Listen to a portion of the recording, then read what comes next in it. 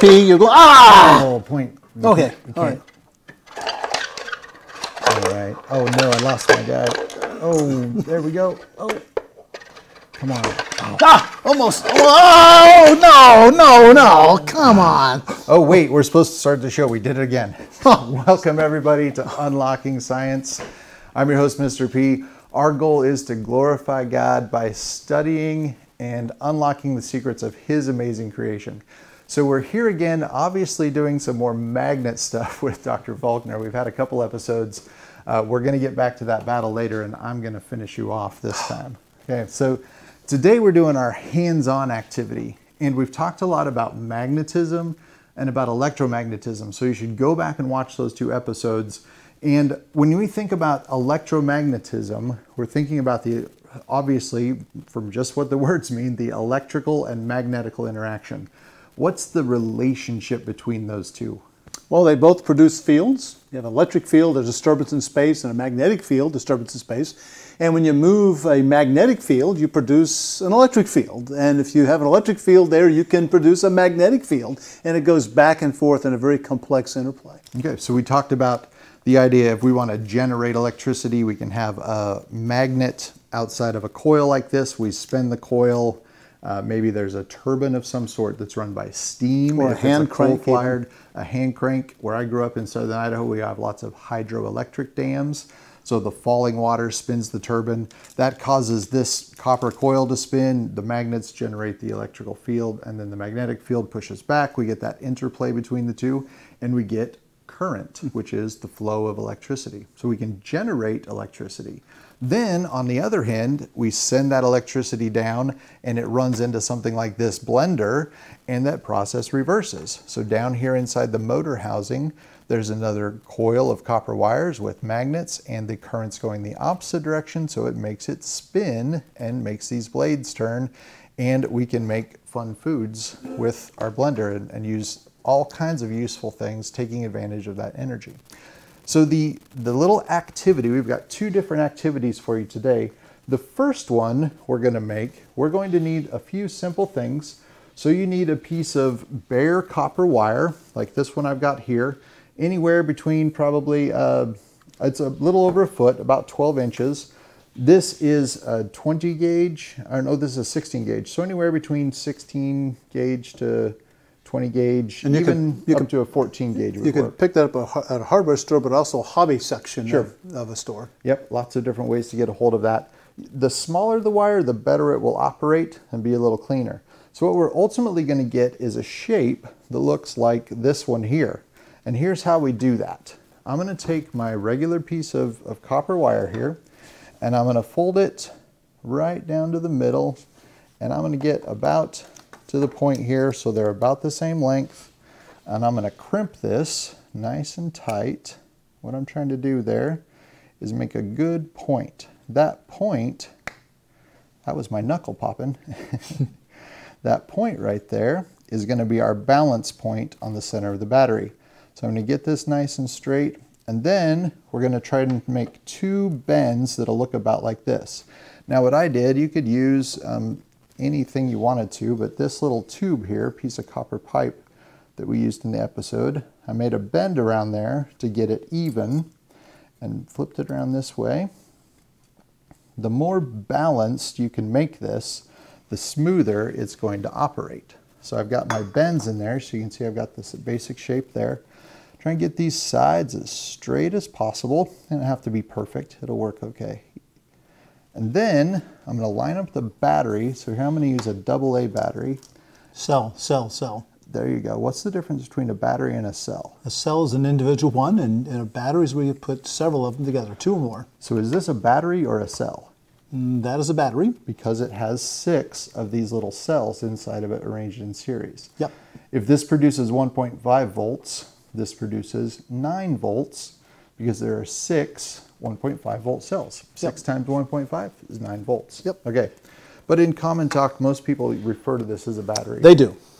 even though we know it's wrong. I'm fighting a losing war, I know. Okay, so I'm going to take this now and I want to get this just a little bit longer than the bottom of the battery. Hold that there. Now this doesn't have to be perfect. Um, it can get, get pretty close. I'm going to start with about this shape. It's just longer than the battery. Now the reason I want it just longer than the battery, I've lost my magnets. Oh, here they are. The reason I want it just longer than the battery is I'm going to stick the, the magnets down to the bottom here, and then this is going to ride, this copper is going to ride against there. So I've got a good length for that. Oh, those are some strong magnets we've got there. Okay, now the next trick is to get our wire, we want to turn it into a loop. So you can see the little coil that I've got here.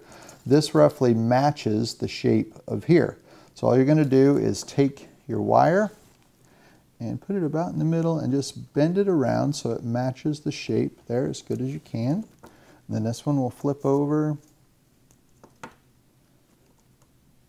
Get that bent around. Now here's where we get into the tweaking. So we've got our basic shape. So now I can take my wire.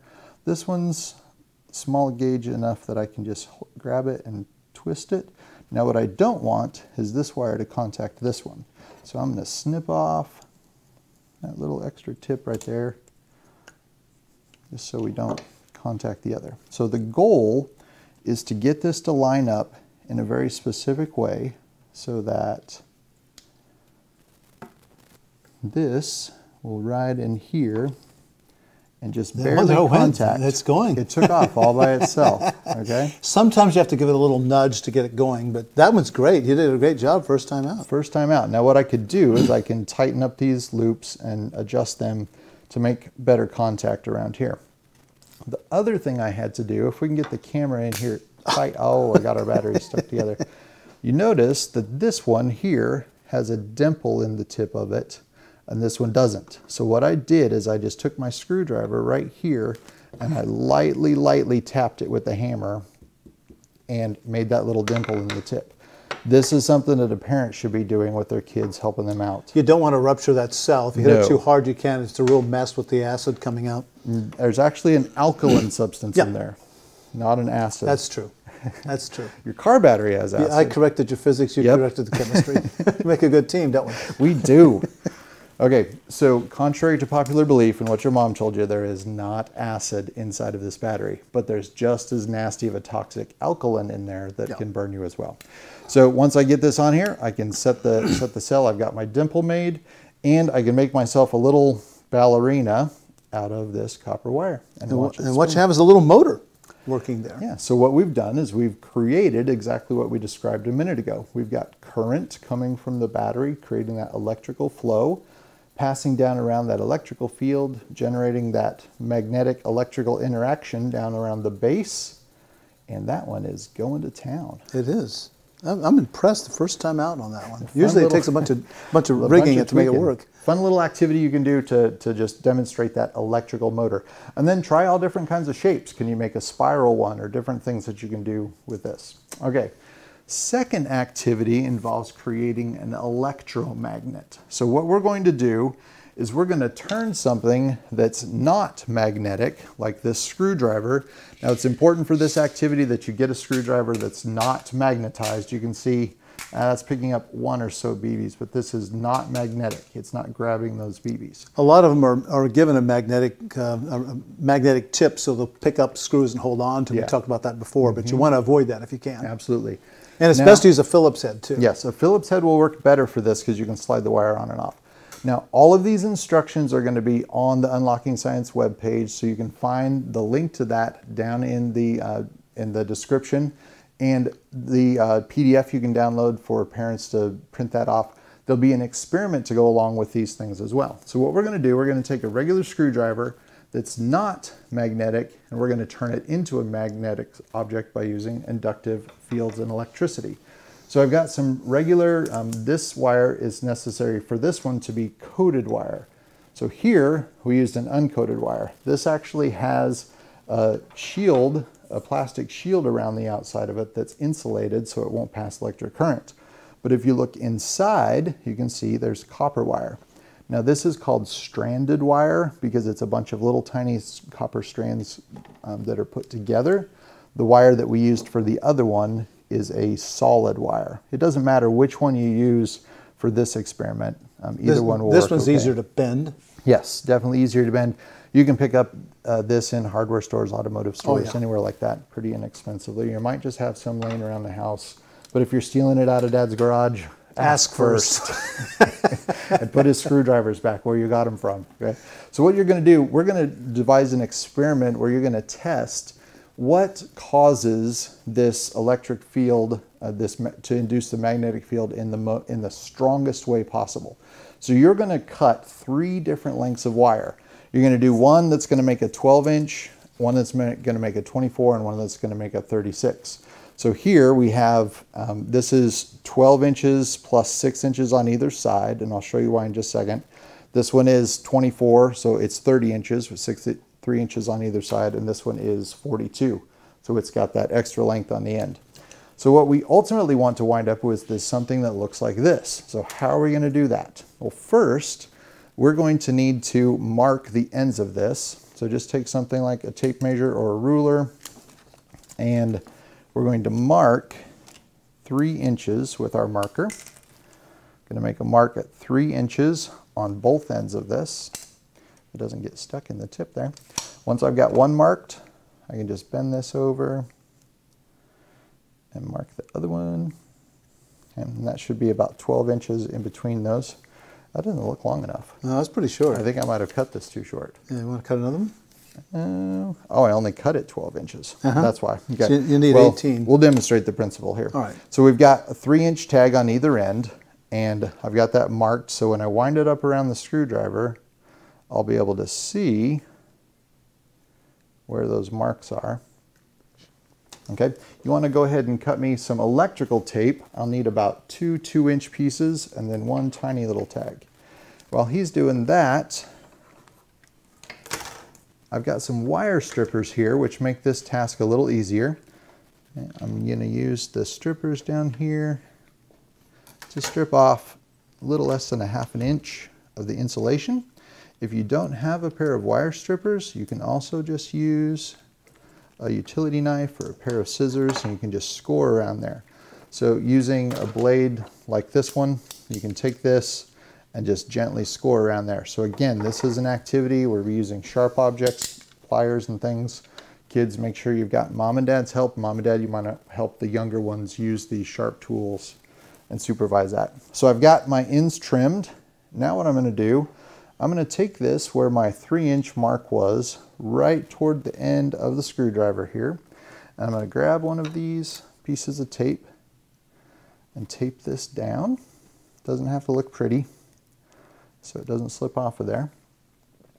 And then I'm going to tightly coil this around here until I get up to my other mark that I made. Now we've only got six inches here. We should have 12 because I mismeasured, but this will demonstrate the principle for you. So there's my other mark. So I'm gonna wrap this around so they're coming out the same way. So I know I've got six inches coiled up there.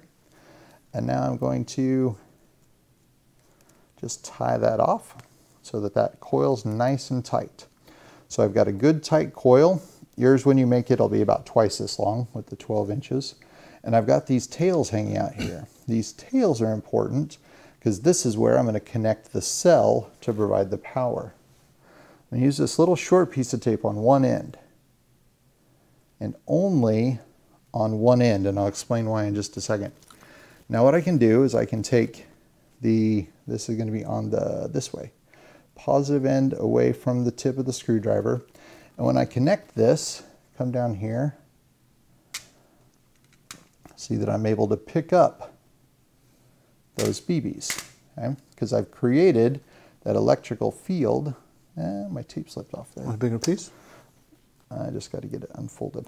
I'm only taping one end of this for a very specific reason.